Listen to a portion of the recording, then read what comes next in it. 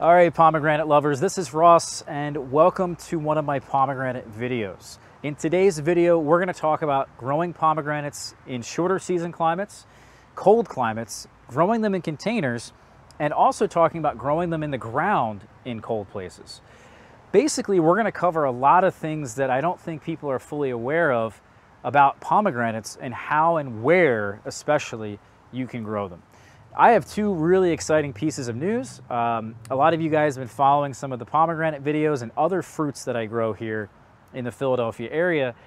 The pomegranate has been one that has eluded me for many years. Finally, we have here on my sumbar tree, which is in a 10 gallon size pot, it has fruited quite a few pomegranates, especially for the size of the tree.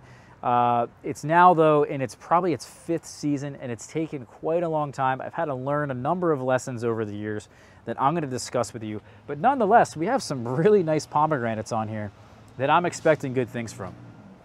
The other nice piece of news is that my in-ground Salavatski tree, which we'll look at towards the end of this video, that has done exceptional. Now entering its fourth season, uh, it has flowered profusely this spring and has actually fruited and probably will ripen before frost. I'm hoping will ripen before frost, roughly about eight or nine pomegranates. That's really exciting news for a lot of us in colder places because that tree has been as low as two degrees Fahrenheit so far.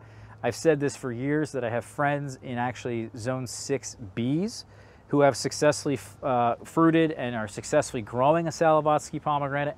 So this is great news for a lot of us out there. You can grow them in containers and you can grow them in the ground as well, even in colder places. You have to choose the right variety. What I love about Sumbar is that it's actually the earliest, a lot of collectors will tell you, it's the earliest soft seeded pomegranate. There's hard seeded and there's soft seeded. The soft seeds are typically gonna be easier to eat when you crunch into those seeds, it's uh, not as hard on your teeth, and typically they're more pleasurable to eat. Um, I'm finding that this variety is quite productive. Uh, it's also quite hardy. I would be interested to try it and plant it in the ground at some point if I can propagate uh, one of these trees. But also I find that growing them in containers has its own set of challenges. So let's talk about that really quickly. First and foremost, I think these pomegranates need a larger container. Um, they need at least a 15 gallon size or 20 gallon size pot. I think that's suitable for them. They can be in that size, I find, for a long time. This um, Sumbar has been in a 10 gallon size grow pot like indefinitely, it seems like, for its whole life. And I don't think it's gonna ever really stop. However, the tree is not as healthy as I would like it to be, especially at this point of the year. It's fruiting. The fruits are now turning red and the arils are actually red on the inside.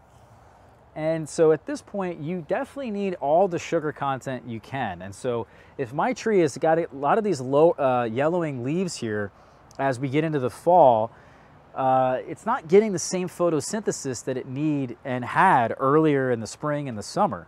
So I need to take a better care of this particular tree. Putting it in a larger pot, having good soil is really critical. Having good soil moisture consistently, and also being on top of feeding it. Now that I know that this is more doable and actually I would say very doable in a container. Um, they're actually going to put out a decent amount of fruit as well.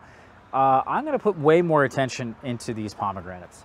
I also think one big tip just to get them to the fruit a little bit earlier is just do a, a bit of summer pruning. They are not going to fruit in that first or second year like you would see in a fig tree. It's unfortunate, um, but it is what it is. Uh, I think in that year three or four, if you do some summer pruning, the pomegranates do flower and form on spurs. So you need older wood and that those spurs, like on apples and pears, take some time to actually form. So the best thing to do that I would find is, is just changing the hormones through summer pruning. Uh, here's some fruits actually. I harvested about four fruits off of this sumbar so far. They're very small.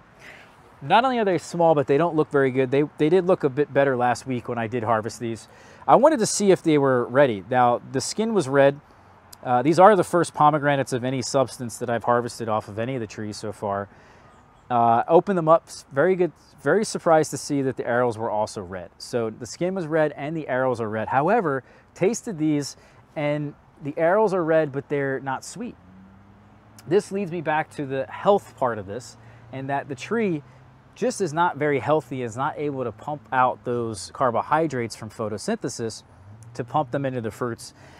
The also the question of thinning fruits has always been I've always wondered with this uh, these pomegranates and it seems like to me you will need to thin out the fruits. I do have a pomegranate back here which by the way you should remove with pruning shears. This is another really small one that hasn't turned color yet.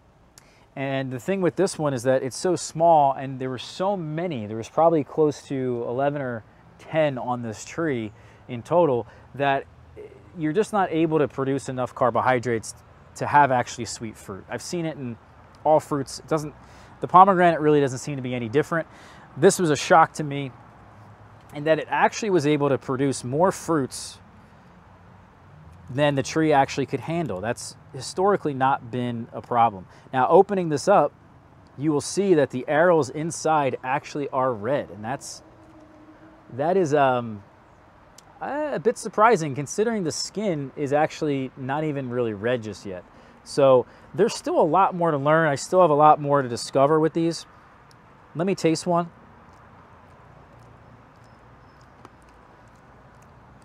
So, you know, it, it, it reminds me so much when I'm eating it of a pomegranate, but it's just not sweet. And you can taste a little bit of that pomegranate flavor that nice berry flavor, but you're just not getting the sweetness. So that's the mistake I think this year. Um, consistent watering has been my uh, particular problem in the past. And so that's something that I'm just gonna focus on in the future going forward, putting them into larger pots. I handle them the same way I handle a fig in a container. Uh, it's really no different. Just keep them above 15 degrees Fahrenheit in the wintertime, store them properly, and you will actually get inevitably some really nice pomegranates. One of the problems I've had in the past is actually getting the flowers to pollinate. Uh, it seemed like to me I was having an issue with just the lack of pollination, a lack of whatever pollinator that comes in here and pollinates these. That doesn't appear to be the case anymore. Um, I tried even self-pollinating pomegranates in other videos that I've done. The one big trick with any in-ground pomegranate uh, that you can relate to with the containers is just consistent soil moisture. And that really just comes down to mulch. Uh, so adding mulch is going to allow that soil to be healthier with more life. The trees are going to get bigger and more established quicker. And you're going to have that consistent soil moisture that you look for. The other nice thing and something I will probably do going forward is that summer pruning that I mentioned. All right, fruit lovers, this is Ross. Today we have some very exciting news to share with you guys. I finally have my first ripe pomegranates from my own pomegranate tree. That, by the way, is planted in the ground. It's the tree back there on my left behind me that's turning yellow. Just before it turned yellow, it produced these beautiful pomegranates that taste incredible, by the way. This is the variety called Salavatski.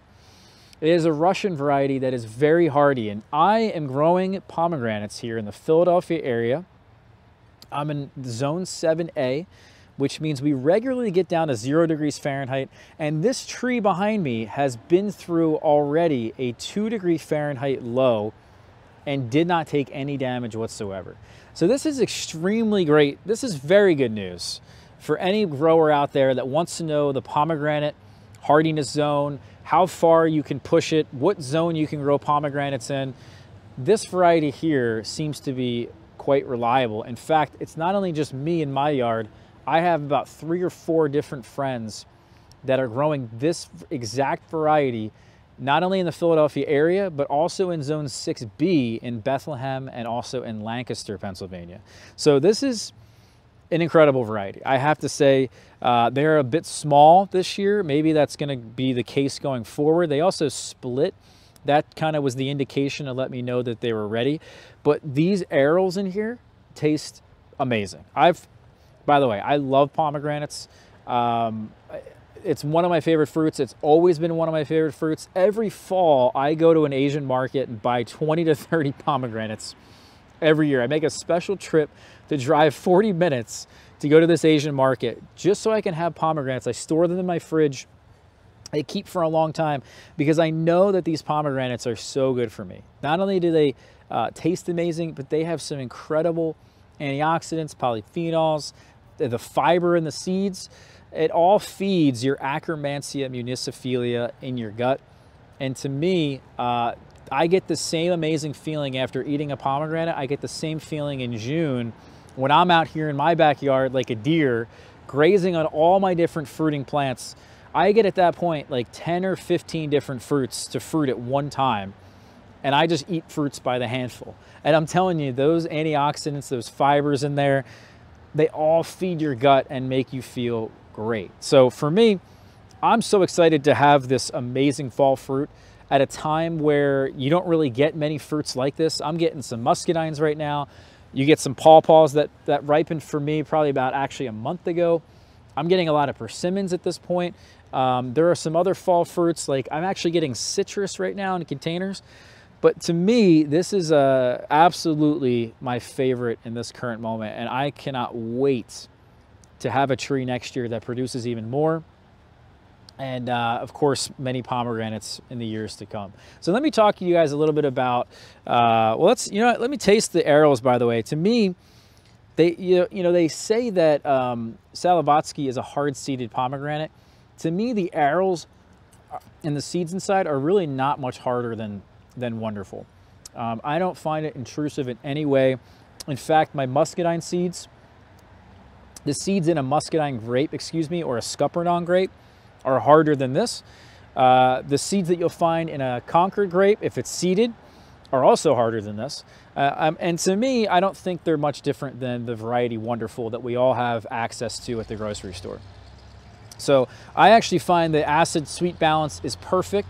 I find that there's an incredible berry flavor that's actually more intense and better than you'll find in a wonderful variety that you get at the store. So to me, these are these are just actually better than what, what I can get at the store, which I was completely surprised because they split open, number one, but also number two, I'm in a humid climate and pomegranates are meant to be grown in dry and warm climates. I have the opposite. It's cold and it's also very humid here. Excuse a lot of that noise back there, guys. Someone's cutting down a tree and the chipper's putting all the mulch in the um, through the chipper. So yeah, I'm thoroughly impressed with these. The, the fruit quality came out perfect. They're very sweet. They have a nice berry flavor. To me, this is amazing. Now, to talk a little bit about the tree, is that this tree, believe it or not, in the spring, flowered profusely. There was flowers all over this thing. Uh, there wasn't as many towards the back on the shadier side of the tree because you can see it's planted right up against the house. We are in the southern exposure here, but we don't get a ton of sunlight. Uh, believe it or not, we only get maybe five or six hours of light during the growing season. Even right now, it's much less. So you can get away with growing pomegranates, believe it or not, in a shadier spot. I don't recommend it. Um, I would get more pomegranates, I imagine, if I had more sunlight. These fig trees here that I have, one planted right in front of it, and also three or four to the left, uh, to the right of it, is definitely shading it. And, uh, you know, if I had more sunlight, a better location, I'd be much better off. What is a nice benefit, and if you're going to grow them in colder zones, plant them against your house, plant them against the structure. Uh, that's going to definitely give them a little bit of extra thermodynamic heating in the wintertime so they can get through that really cold temperature that you guys might see in the wintertime. Um, other than that, I find that the pomegranates flower on spurs so in terms of pruning them, don't recommend pruning them much because the spurs that are formed, and in fact, you'll notice when you pick them off the tree, they're coming off of spurs. Um, now, whether or not those spurs form on the current year wood or the new growth, I should say, they are definitely coming from growth that forms from last year.